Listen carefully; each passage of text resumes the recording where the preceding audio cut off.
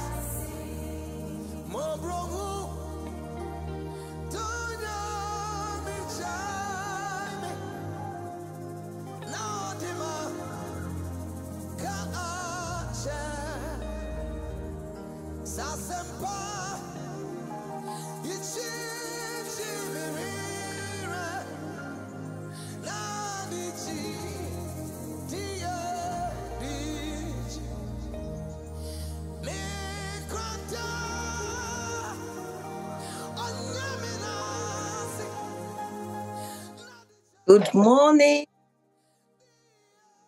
good night.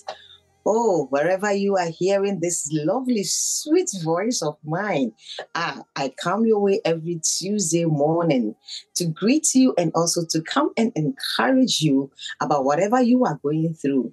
Adonai, I always tell you, is still in the making business. And one thing that I want you to do for me is to start sharing. And by sharing, I will tell you, you automatically becomes who? An evangelist. Share on your Facebook, Instagram, uh, or even on your TikTok. Yes, WhatsApp, and let everyone on your contact have this. And as I always tell you this, life in this world is indeed a great struggle, both for the young and old. And all, even those who always think that they have all the great riches that you are admiring, they also have the troubles of their will. That is why we come your way with my encounter at Jericho to share our encounters in life and how far Adonai picked us from and where he has taken us to and where he is still moving us on to. As we are still alive, we are still, we still have hope because even the tree that is cut still have hope that when rain falls, it will still germinate. Good morning once more again. Good afternoon once more again, wherever you are. I say good morning to our father, Pastor Mark Asante Manu and Mama Comfort Asante Manu. I say wherever you are, I say good, good, good morning to you all. It is by your grace and you giving us this great opportunity. And we are also here to exhibit what God has given unto us to save lives out there. And also to the church board, we say good morning to you. To all the associate pastors, we say good morning and God bless you all for your prayers and your support. To my husband and my children, I say good morning. Ah, to my manager, Apostle Good Water Isaac, I say good morning, good afternoon to you wherever you are today. Good. As we were here last week and we had a very great, wonderful apostle, Dr. Reverend Leeford Boohene, who came our way to bless us. And today we are continuing a part two. Was oil dawa wobono ebien. But we are continuing because we wanted to hear the G's and where God has brought him because many are admiring. And someone, an apostle called and said, Oh, even his voice is even touching. Oh. I know the voice is also touching you and sending a great message unto you. Apostle Boohene, good morning once more again, and welcome to my encounter at Jericho. Thank you, thank you, thank you. Um, it looks like it's only upper room that can get me again for the second time, and uh, uh, upper room Bronx assemblies of God is coming. Uh, this is my second church now. My respect for your pastor. He's a senior brother. I've known him over the years, all the way from Ghana, and he has kept his course. And I like his dedication to God's work. So thank you very much. And um, I'm glad to come again on your platform for the purpose of the furtherance of the kingdom and to bless many people that will be coming across this video and also listening to us. And thank you very much, Pastor Linda Amoah. You, you're doing so wonderful. God bless you. God bless you too for honoring our invitation for the second time. You know how special, making me blush, how special I look. okay, viewers, last week uh, Dr. shared with us a genuine life experience starting from school time, where he started his schooling, what happened during his ministry, how he got to have an encounter with God, and what even happened when parents decided to stop him, and now the full support has been given unto him. So today we want to know um, where he started his ministry, and then also the encounters he has gotten doing ministry. I told you last week that Reverend is a book writer. And I know that he's gotten so many encounters and solutions. That is why he's putting all of them into the books he's written so that you and I, when we go through and read, we will be able to know what to do and where to get to. So, Reverend, we are listening to you today. How did you come, became full ministry? Let's start from there. How did you become a full minister? Because you told us last week that when you came here in the state, you even had to move from one point to Chicago, somebody who has come so fresh. So, how did ministry begin? Thank you so much. Well, it will take us a little bit back Okay. uh, from Ghana. And so I'll continue. I think last week we ended on how um, I graduated from school. Mhm. And uh, so I'll pick it from there because my ministry was very much more in um, consonant with my secular education. So from, like I said, from the university, the things we were doing, the missions um, that we uh, undertook. So we were so much involved, and the people that were surrounding my life were people that were were and are still in ministry. You know, some of them into full time, some of them being preachers, uh, some to um, they are tent workers. Um, they they do other things, but they are also into active ministry in their various uh, churches. So um, right from uh, Kwame Nkrumah University of Science and Technology, um, I had to work. So I work with uh, a man by name Talal Fattal, uh, uh, blessed memory. Mhm. He had uh, his his station, his TV station is Metro TV now. Mhm. Um, it started as um, it was called Media One and Number One somewhere around Labadi area. Um, that's where he media media number one or something, yeah. And then he, you know, it it graduated to become um, Metro TV. So from school, uh, I was with part of part of his production crew, and then we're also part of the technical crew, uh, designing and all that. So that's actually my background. So from there, you know, um, we'll go to work as usual and and all that. But one afternoon, I had my spiritual father was uh, having his fast.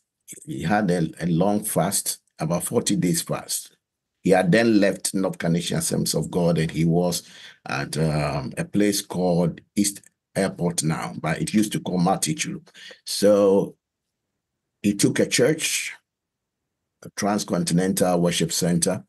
It was from the military base from Burma camp. They got a land at Matichulu and then they went there. In fact, it was very horrible place, very bad place. You know, we came from North Kaneshie and comparatively, um, you can see that he was really in the wilderness compared to where we were from because he was the associate pastor and then they gave him that church. And some of us came along with him. He was having a long fast in East Legon. So one afternoon, my first encounter, I went to work. And uh, that day I felt, I think I, could, I didn't really feel myself. It was very you know, unusual for me to be, you know, in the production room. We put things together for the news and all that. And I was just behind the computer and I, I felt so drowsy. So I, I slept. I, I placed my head on the table and slept, and I had a dream. Hmm. About two minutes, I just I was just caught up in this trance. I saw a lot of pigs. And I was driving the pigs away from from the setting was like the you know the pyramid house it was on the ring ring road you know we he bought the pyramid house that's uh, our manager uh, Talal Fattal and so that was when Metro TV had begun. Paul Adom-Otchere and all those people were there. He, has done well very well to stay. He's still he's still very active and powerful. Paul, wherever you are you might not really remember me but hi to you and keep keep up with the good job. So I had this um, trance, and I was driving out a lot of pigs.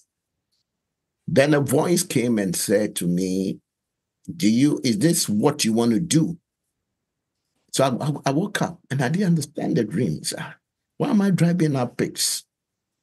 Then later on, I saw in a trance one more time. That's why I wasn't sleeping, but I saw sheep, a lot of sheep, and I was leading the sheep. So that afternoon, I took my bag, I left the office, I never went back. And I'm a man of conviction. When I'm convinced about something, especially about the leading of the Lord, nothing changes my mind. And I think that grace has really helped me. I never look back. I, I, took a car. I went to East Legon. My my spiritual father was fasting, and, and I got there. And he used to tell me that when the time comes, you will know. So he was looking at me. He said, "Why? Why are you here?" I said, um, "I want to come and continue to pray with you. I'm not going to work, and I'm not going back again, and that is it." So from there, I went to Maranatha Bible School at Sowutuom for almost about a year. It was a Baptist school. Mm. Then my pastor said, No, um, my spiritual father said, No, you're an assembly of God. You, you know, I believe that this is your path and you got to be careful. So I want you to go back to SGBC. So I went to SGBC. I was supposed to start in the second year, but um, I started from the first year. It's about uh, a diploma course and and and I went through. So that is my Bible school journey. Every night I'll go out and I'll be praying, and on the field I'll be seeing a big mission field. It's like uh, endless field, and uh, I'll be speaking the word of God. And most times it looks like it's not Ghana, but I didn't know what God was going to do. So I graduated. I served under uh, Reverend Dr. Joseph Basie for seven years as the senior associate. I served, and I thank God for his his mentorship, his coaching. He's, he's a very loving father. Gave me all the opportunities with myself, and uh, I I told you about um, uh, Reverend Wingham.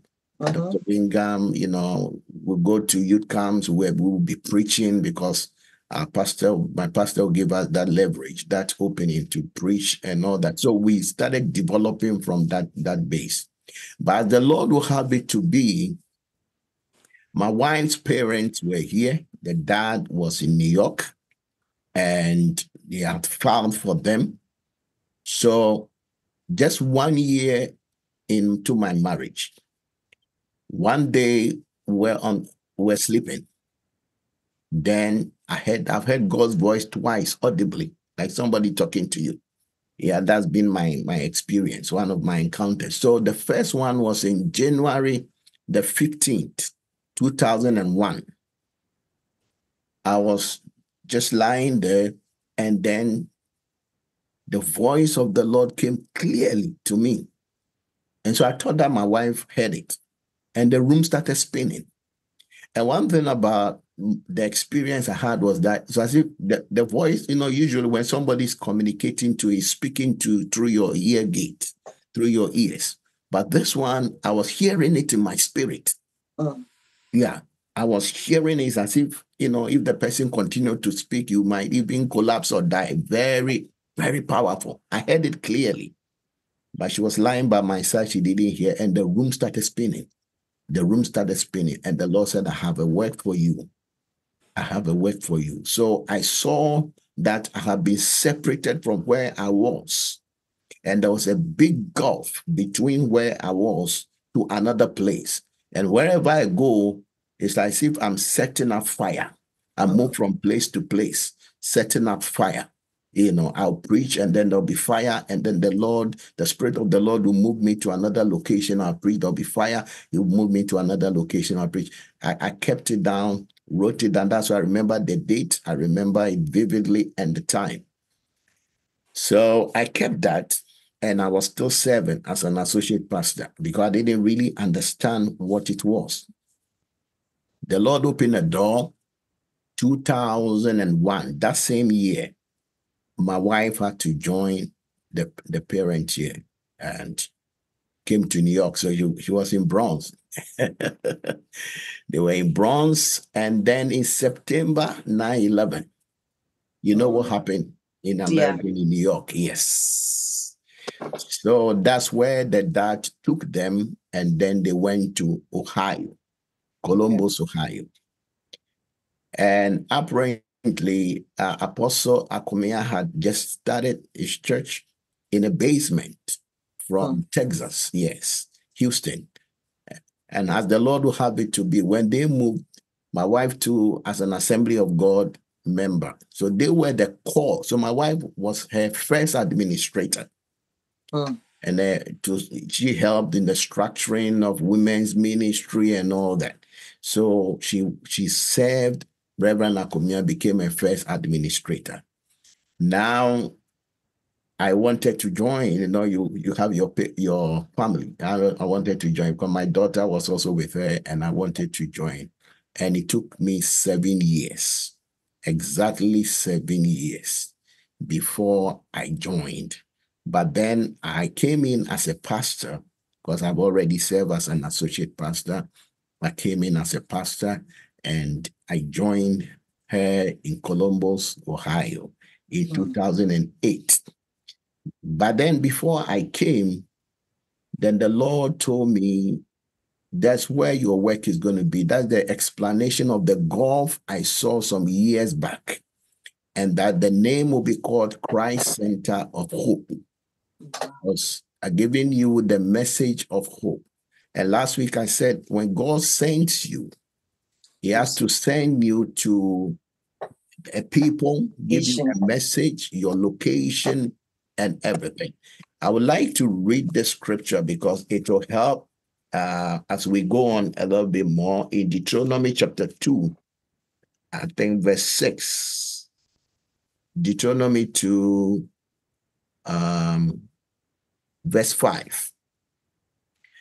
Deuteronomy 2 5. Let me read from verse 4. Deuteronomy 2 from verse 4. And I command thou the people, saying, Ye are to pass through the coast of your brethren, the children of Esau, which dwell in Seir, and they shall be afraid of you. Take ye good heed unto yourselves, therefore. Verse 5 Meddle not with them, for I will not give you of dear land No, not so much as a foot's breadth, because I have given Mount Seir unto Esau for a possession. Okay.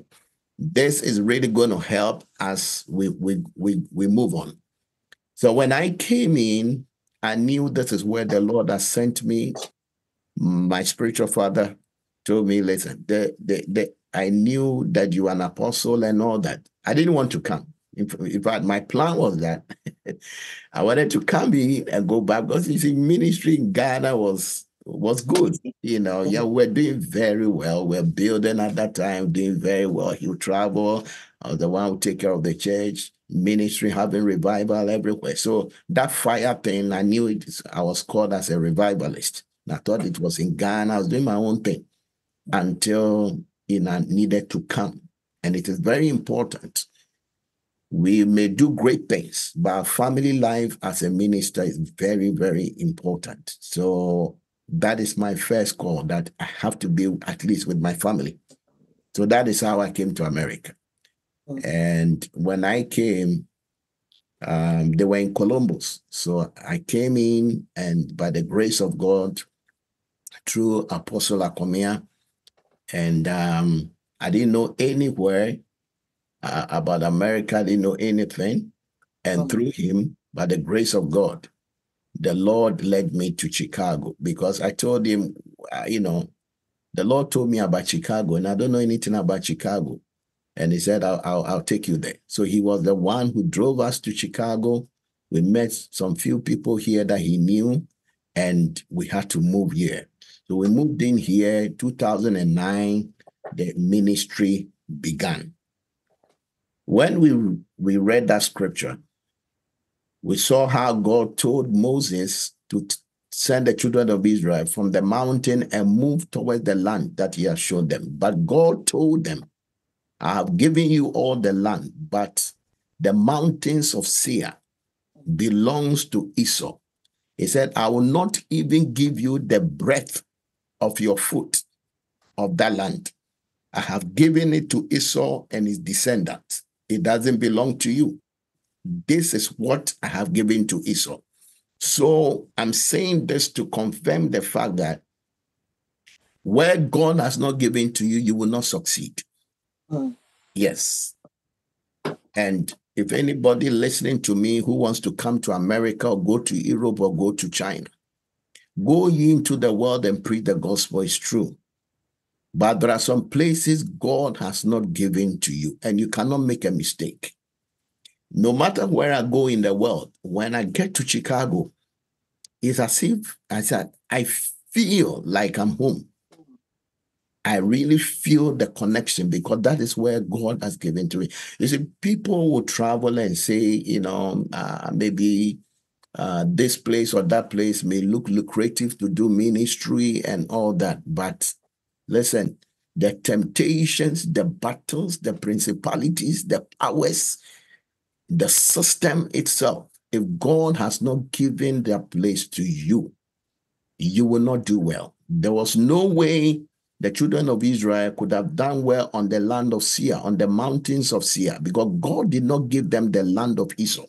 So we need to be very careful in our apostolic work, in our ministry. Where did the Lord really plant you?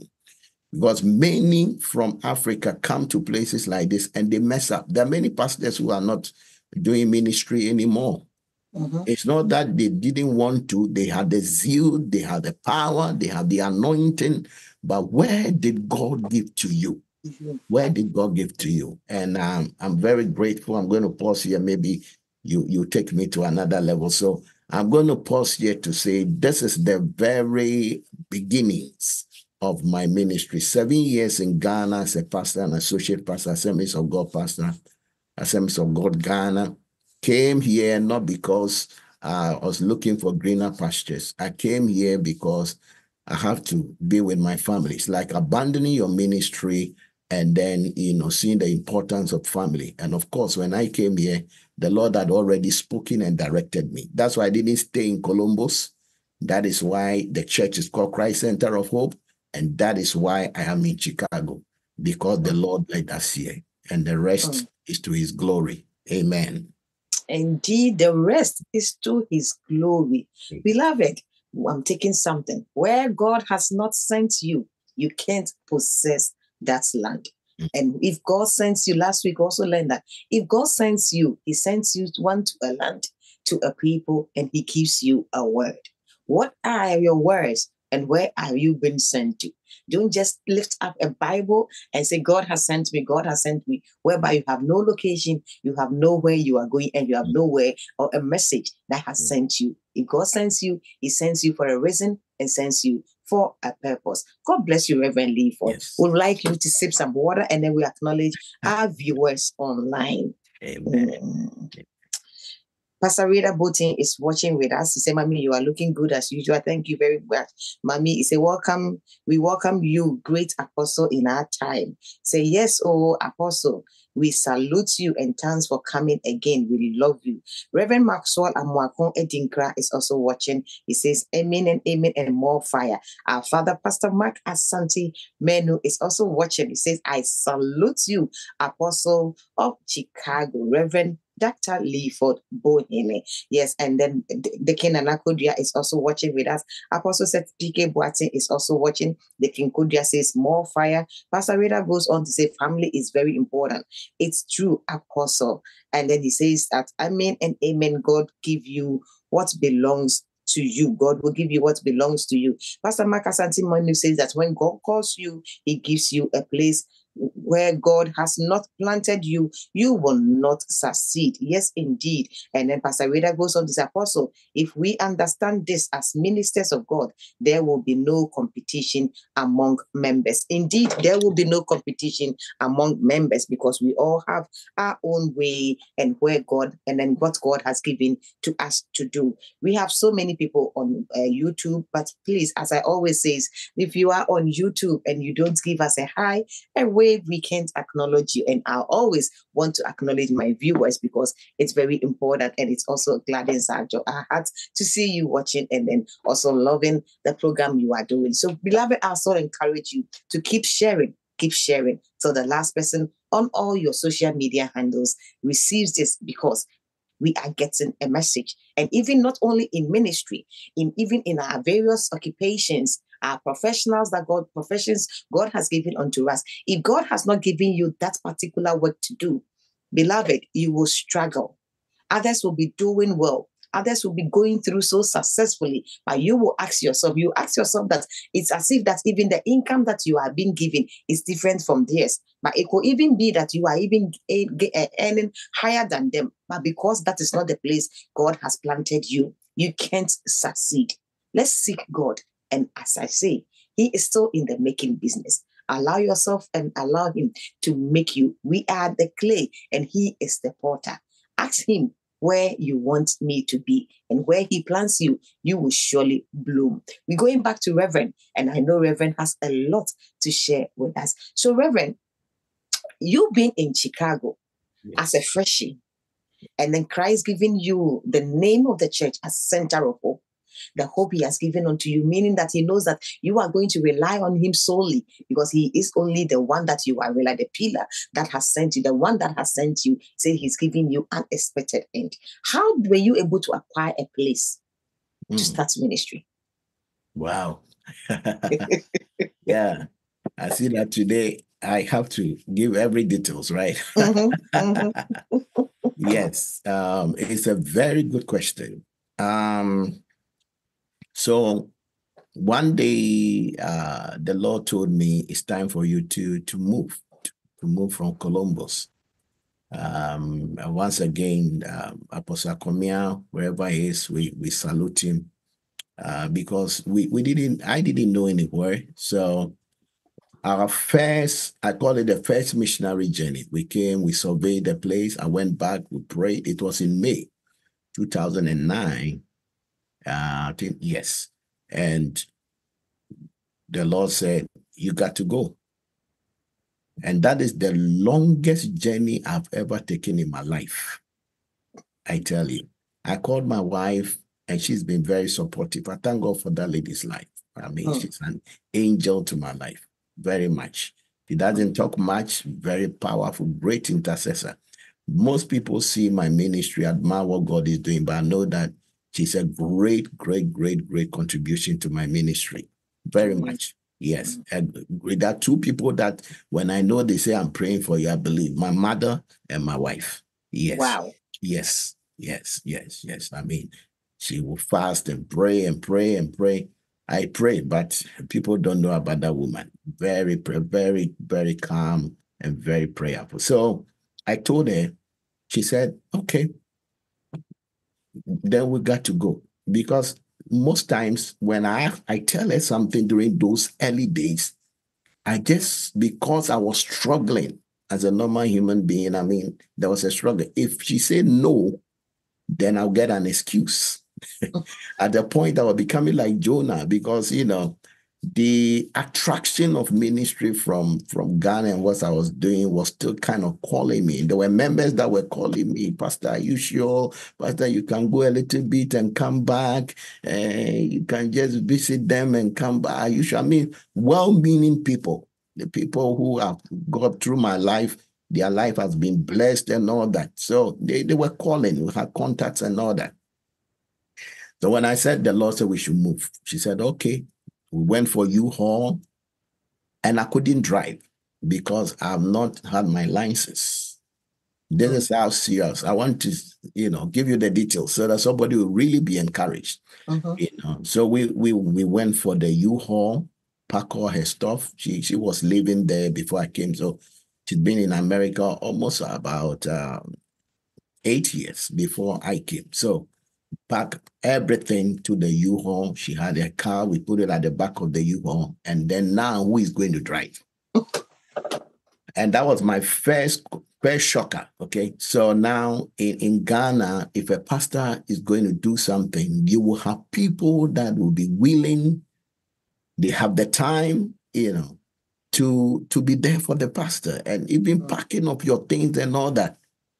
And I say, wow, today, well, people are going to work. That was the first shocker. There were young men in the church, Jesus Power, but you know, they have to go to work. Yeah. So we we did it ourselves, and then now who was going to drive? And he, she said, "I'll drive." And she had taken immediately. I came by the grace of God. She has taken in of our second boy, and then my daughter. She wouldn't go to school. We took off very early morning, and come to think of it, my in-laws called me that dawn, and they said, "Osofo." Because they they've been to Ghana, they see my ministry. They say, Are you sure of what you are doing? So who is at Chicago there? You're not going to, you're taking our daughter and every- everything. And then I told to just calm them down. I said, We're going to find out. If things doesn't go well, we will come We'll back. come back. Just to calm the nerves of a loving mother and a loving father for their daughter. And they allowed us to leave. And my wife was the one that drove. We were moving like tortoise. You know, a, a U-Haul, very heavy. Oh, and Oh. then with a truck at the back, and she was pregnant. That day it rained or spring, so it rained. There were cat, I mean, raining cat and dogs. We go a little bit and we park and then we move. It took us about a journey of about five or six hours, took us about nine hours. And then my, my daughter said, Daddy, where are we going? And I remember the story of Abraham. And, Abraham and Isaac. and I said, My daughter, God will provide. Wow. Yes, God will provide. We we moved by faith. So my first book was called Stretch Your Faith. Mm. You move. Sometimes you have the faith, but you have to stretch it. Mm. And we moved by faith. We came to Chicago, found a place and rented. And I started the ministry from my living room. You know, not knowing the laws of America. and you know how I can pray. And uh, we're doing ministry. We met the first Sunday, the second Sunday. My daughter said, Daddy, we have to take offering. And I said, Hey. So my first congregation was my wife. They, I would call them two and two and a half. My wife who was pregnant, so that they half, and then my daughter. They were they were my congregation. And every. Oh. Sunday I would preach, we'll have praises, and, and and then you know we dance around the, the center table. And then we did that for about two, three weeks.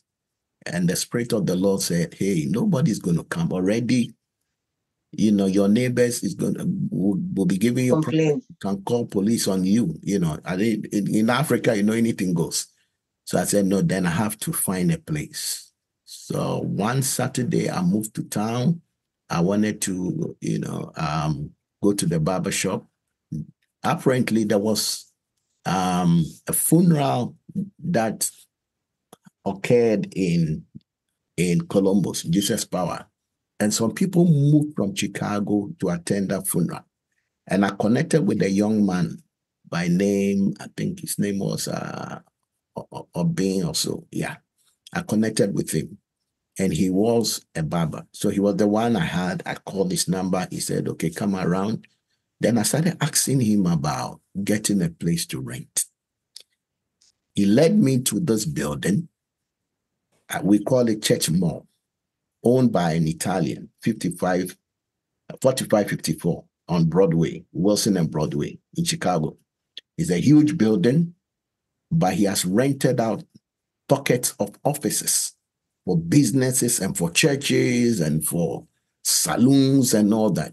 He, the man, was making good money. He was an Italian. So he led me to that building. He said, Well, in this vicinity or community, this is where most of the churches are. Oh, I was so disappointed when I entered the, the, the, the place. I said, Lord, why did you send me here then? There was Christ Apostolic, then they were all small, small, small, small, tiny churches. Christ Apostolic, Pentecost. Now, Pentecost had their own place, but I saw Christ Apostolic. There were all kind of churches, even uh, um, uh, we call is it uh, uh, Aladura or something, you know. I, yeah, yeah. I saw that one too. Nigerians were there, uh, Congolese, all kinds of, and the whole building. There were it's about three floors and churches and businesses. I went to see the man, and he said, "Well, there's no space, but you know, like the story of Joseph and Mary when they had to deliver Jesus. Said there's no space, but there's this small room." Mm. That can take about almost 10 or 15 people, very small. Even my office is bigger than that room where I started from. Small room. Immediately I entered, the Lord said, This is the place. I said, What? How can I start from here? And I said, Okay. So we spoke with the man, we negotiated and all that. I went home. I was quite happy. I told my wife, You know what? There's a miracle. I went, you know, to the barber, but I found a place. And she was also excited. And coming from a very big church, I saw that her expectation was great. Said, Can we go and see it? Can we go and see it? We need to buy some chairs from Walmart and you know, start something. She was so excited. I led her to the room and he said, What here? "Ah, But this cannot be it. This is, she said completely that this is not a church. I said, Yes. I know it's not a church. But the Lord said we should start. We should start from here. They said, Okay, all right, okay.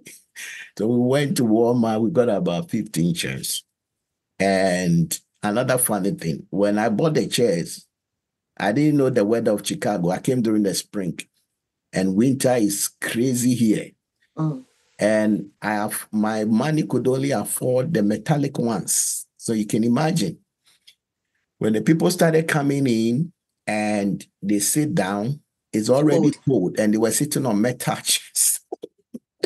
so the ladies put their hand under their thighs like this and freezing up. Oh my goodness. The beginning was very rough. Mm. Very, very rough. But I want to uh, pause here and really uh, acknowledge the encouragement of your, your first lady, Mama Mm. Comfort. Yes. And then, of course, Amen. your pastor. Uh, barely when I've come in, he started the Rulers Convention. So I was the first speaker of your Rulers Convention in June. Wow. Yes, barely when I've come in. So he bought the ticket and he said, also for come around. That's what the Lord has laid on my heart. And that time too, he was also renting a place. God moved mightily. And there was a prophetic word that um, you guys will buy a place and all that. And the Lord really set us on a very high tone. Then your your first lady, one time I was sitting in a, in the living room and she started talking. Maybe she will not remember. She started talking. He said, hmm, Pastor, for American churches like that too, then she started narrating what they have been through. And the Lord bless your pastor because It was through her that I got to know that even your pastor was sleeping in a car. He slept in a car. You Mm. know, today everybody seeing uh, Bronx assemblies of God, the upper room saying, uh, you know, Apostle Marco Asantimenu and all, but people don't really know what we go through. yeah. I have, a, you know, a, a, a, dick, a deacon that will, will whisper to me and say, Hey, Obi Manso, you know, Mm, we this is not where we come from, but Mm. you have been sent and left out there. That really encouraged me for me to know how they began. And that pastor was even sleeping in a car. So I started thinking, I said, Well, I'm not sleeping in a car, at least to start with. But if God has brought them this far, and let me say this if you can raise about 10 or 15 people in a land like this, mm.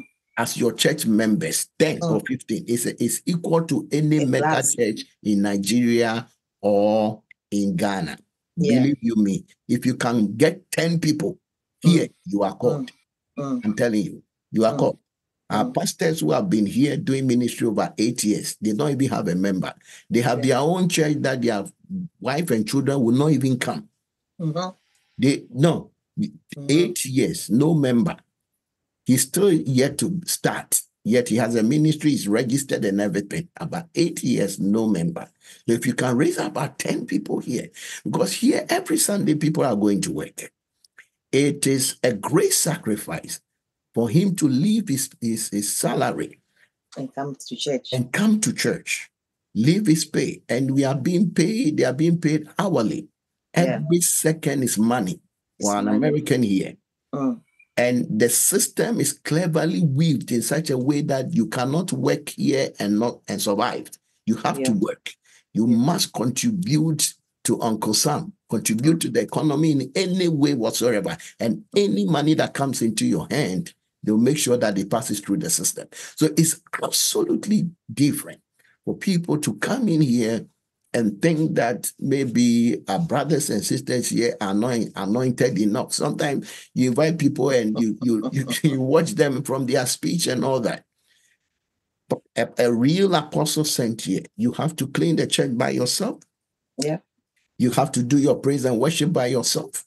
Mhm. You have to sometimes have to play the drum in any way by yourself to support, or even try getting some hymns out of the keyboard until at a certain time within the path of your spiritual journey as a church that God begins to bring people. And even with that, they want to see the sincerity of your heart.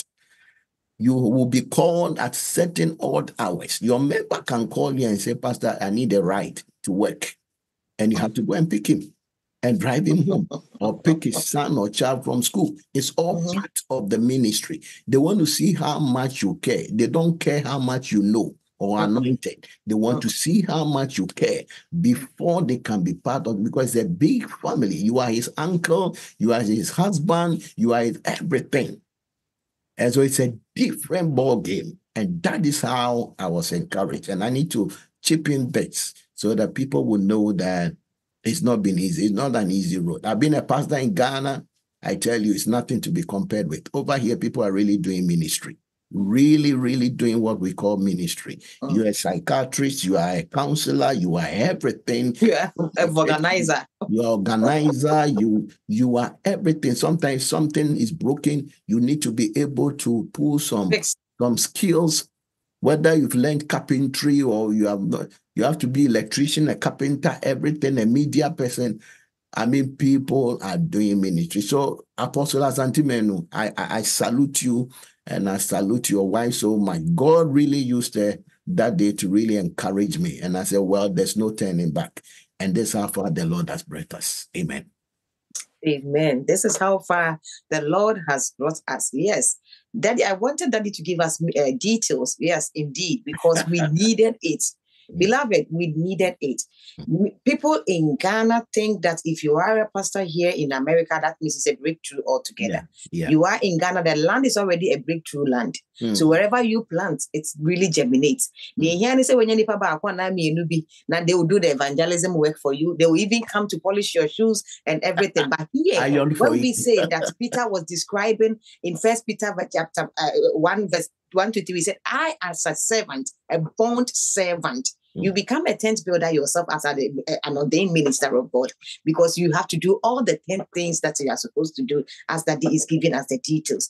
If you are a pastor out there and you have been here, don't think that if your church members are not bowing to you, mm.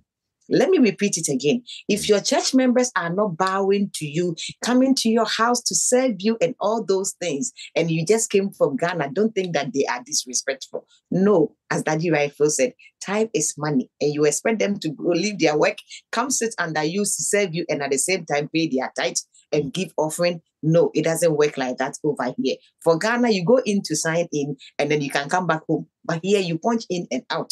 And then it's the time that you punch in and your timing of out is how you are being paid.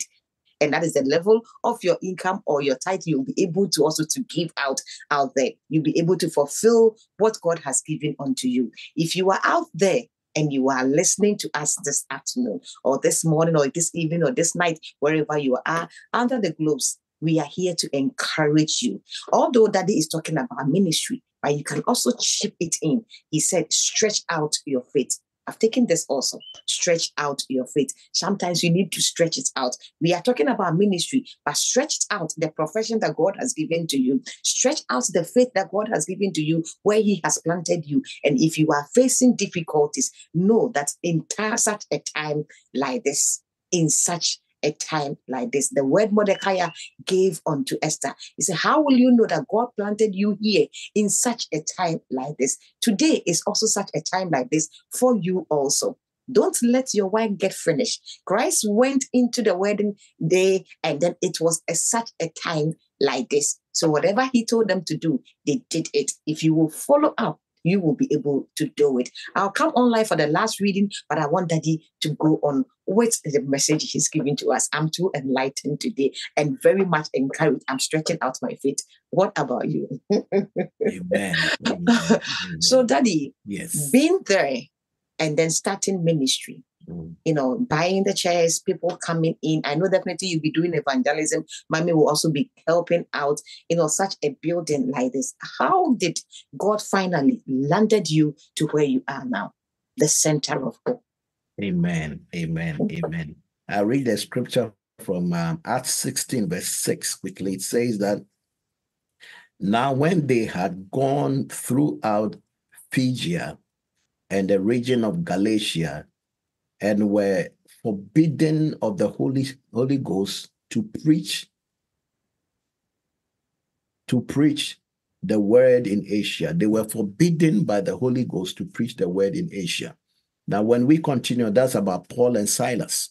Mhm. You know, they were forbidden taking the word to Asia by the Holy Spirit. But then he made provision for them to be in Galatia and Phrygia. And because the Lord led them through, that was where later on they had the Macedonian call. Mm. Where God gives you a vision, he will give you the provision. Oh God. If he really sent you, he will make a way. Mm. And I have really learned to trust God. In our journey, we, we've been in America about um, 13, I mean, about 14 years. The church is about 13 years now, and we are moving on. I have really seen divine provision because we started with nothing, like I said. And later on, God started making a way. Now, one of the encounters, one of the encounters that we had about the church was that, you know, at a point people were now now hearing about the Assemblies of God Church here and all that in our location in, in Chicago. We are the north side. Chicago is the third largest city in America. So it's, it's very huge. Yeah, so but we are the north side. So in our community here, people are now hearing about it. Then the question of how we support ourselves.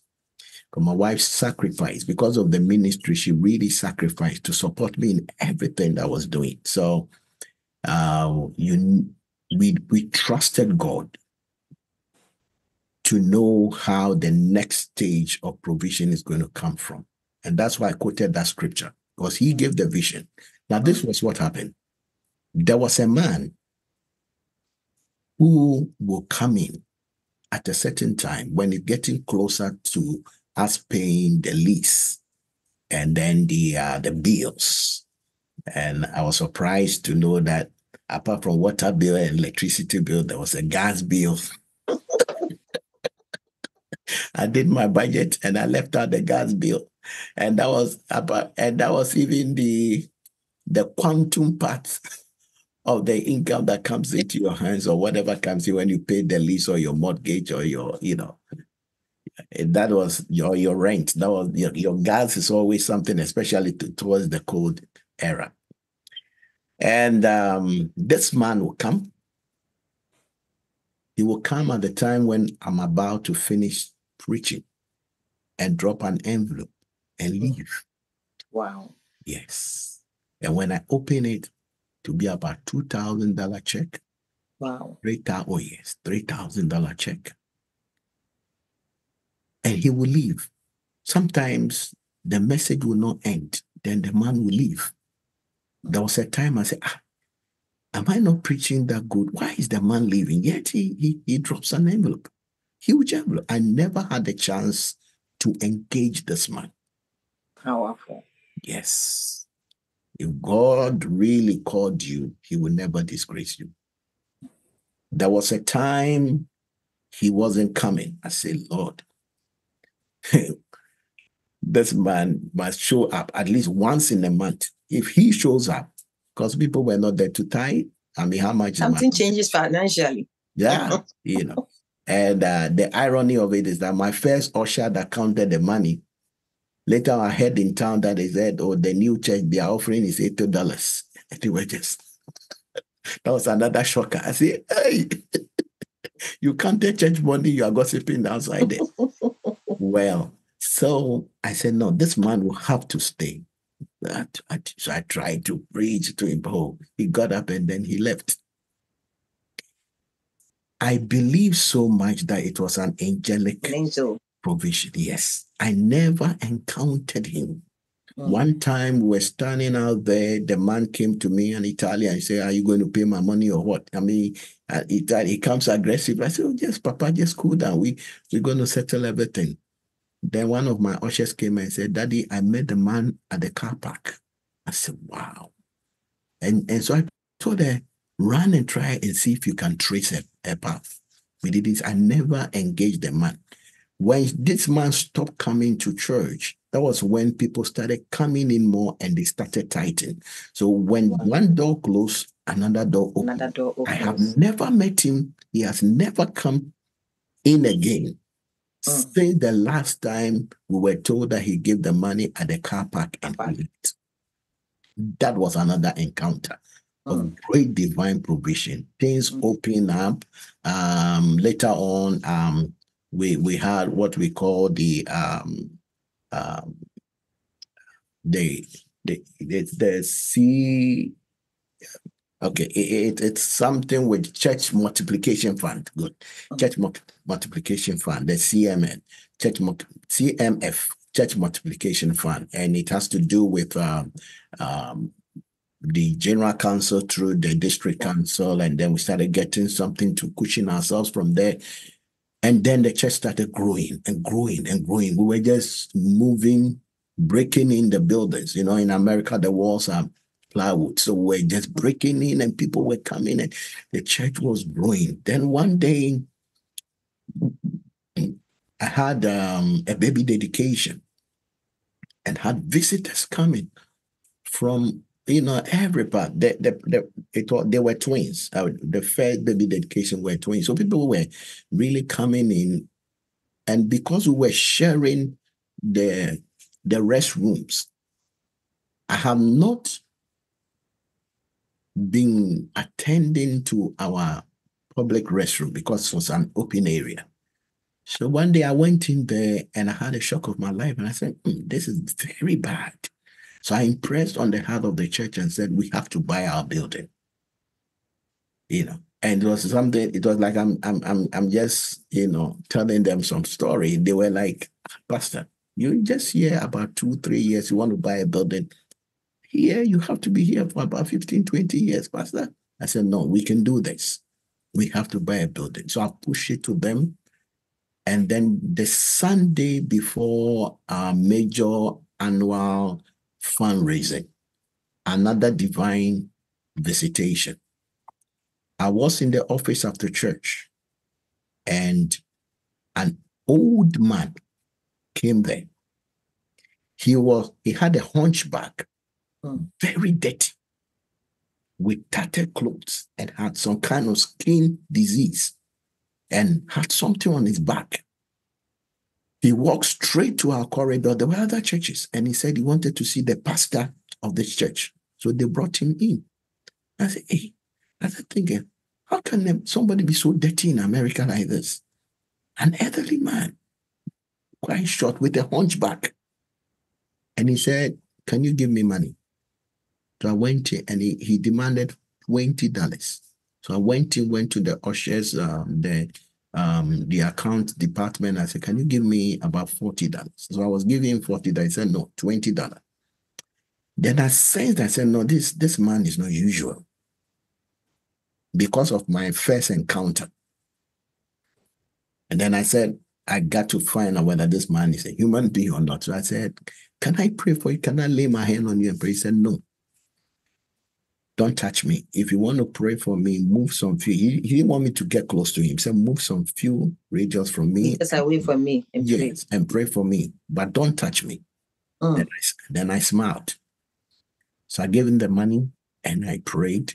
So when he was leaving, he looked through the, you know, the, the room. He looked length and breadth of the room. He looked around and he left. I sat in my chair for a while and I said, no, let's trace this man. Where is he coming from? How can a man be so dirty in America? Where is he coming? I, I thought that maybe he's a homeless man, but for the fact that he had debt on him, Mm. they couldn't trace him. We were in the third floor, so there was an elevator. They went down the elevator. They went. They couldn't trace the man. Mm. The next day, during our annual fundraising, the people that came, the money we got, there was no way, in the normal sense, that we could raise that that that amount of money. So I knew it was a divine visitation. God sent another angel, and Mm. that money we gave was a blessing that was released on us. So that's how we got our first building, and then we moved in with our, our, our into our first building now. By the grace of God, um, we had our battles, struggles here and there. And let me let me say this because it was also bless somebody. You know, uh, when the building was bought in this country, they deal with building codes, and I Mhm. didn't know. We just we just bought the property. They have to look at the number of people that comes into the church in relation to uh, the parking spaces. It has to coordinate. I didn't know that. Uh, we had just some few parking spaces behind the building, and so to to encourage somebody, I had to go to court to Mm. the state. God gave me wisdom. I didn't tell the church. Five years I was going to court. Wow. Yes, because I didn't want them to panic. It's Mhm, their money we used to buy the building. mhm. So I was doing serious intercessions and warfare. Then later on, I got to know that I was reported by some people around. I had seen people put charm at the at, at the back of our car uh, at my car park. I saw a charm and all. and These are just some things that you go through. God sent you by yes, the devil will also come in so many ways. I fought all kinds of battles, all kinds of battles.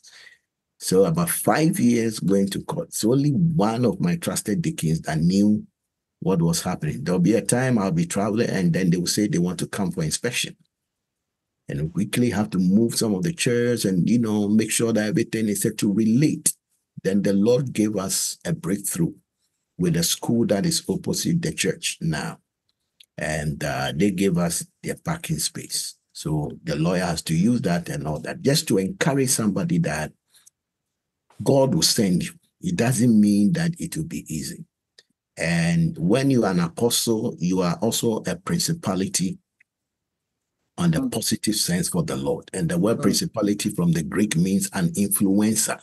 Yeah. So you got to be able to influence people, the system, Mm. and then money. So Mm. your warfare is not only against the devil, you are dealing with people.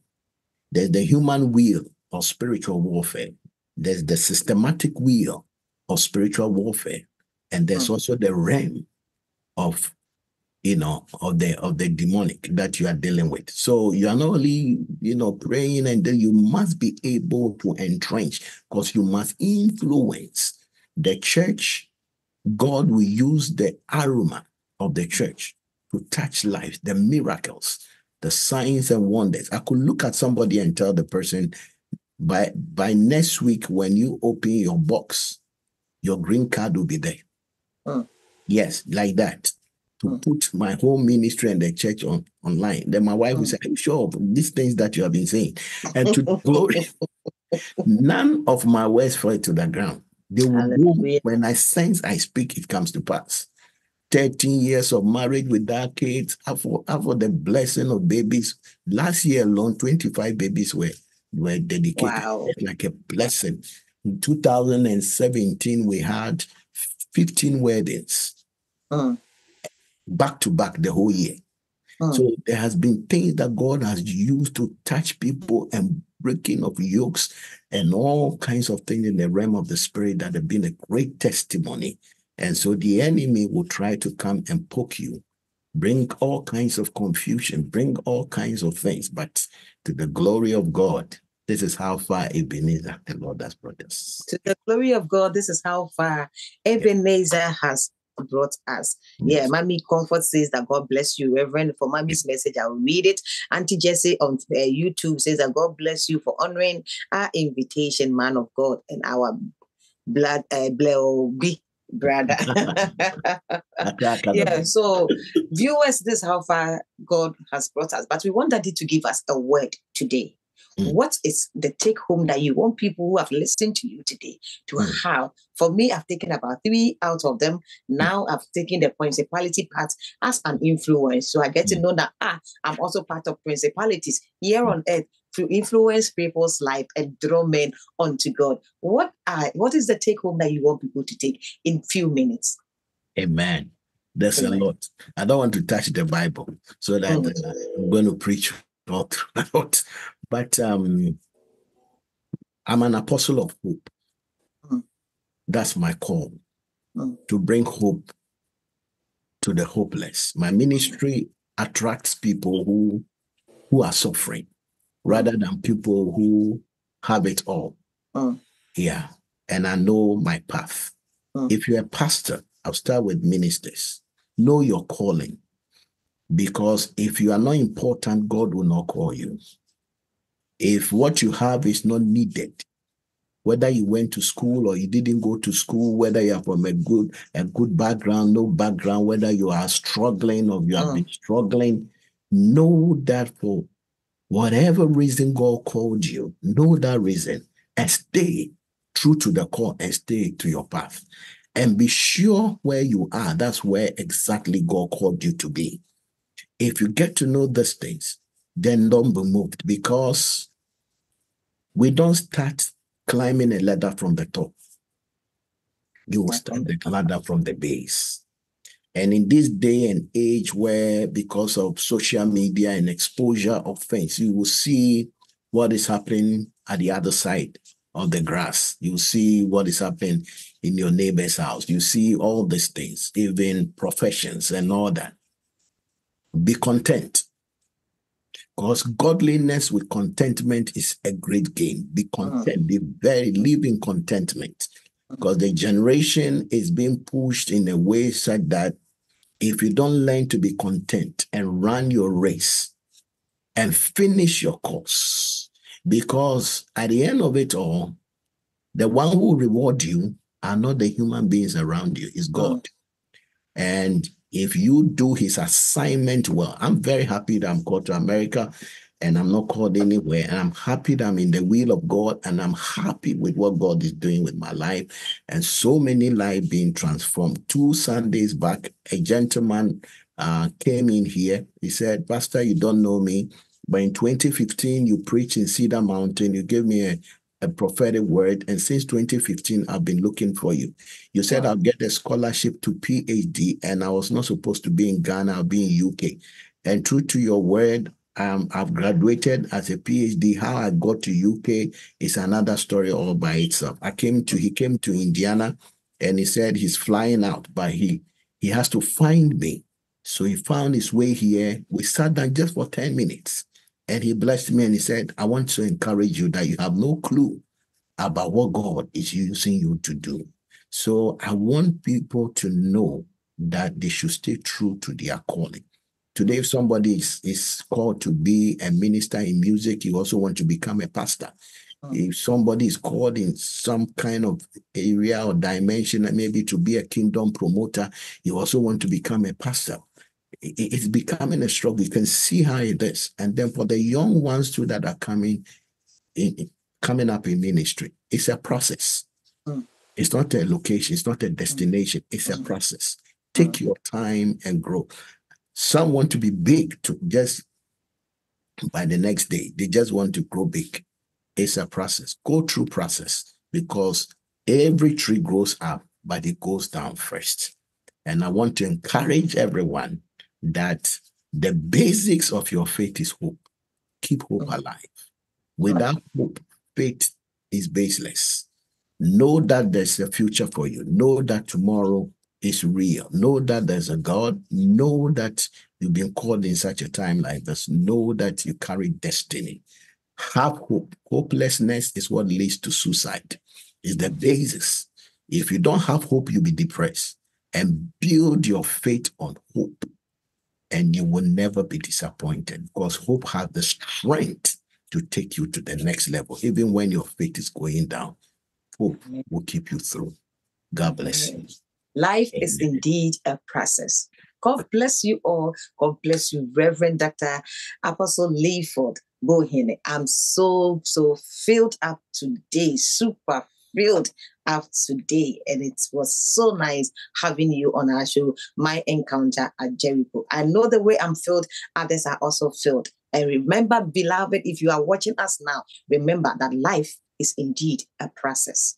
Life is indeed a process. Stretch your faith, stretch your faith, and you will surely get there. The stems need to be very deep down there for your tree to be tall up there. So the taller you want to be, the deeper you have to be. This is coming from Apostle Dr.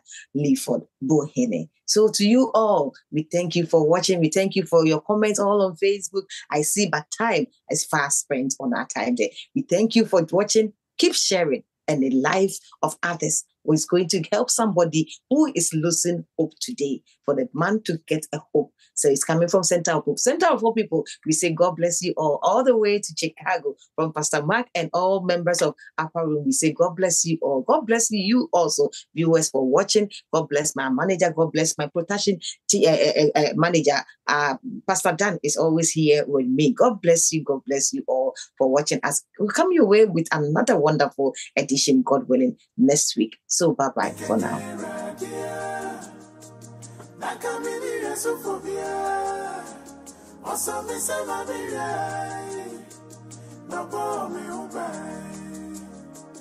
Ojiji mi tata, no way mano.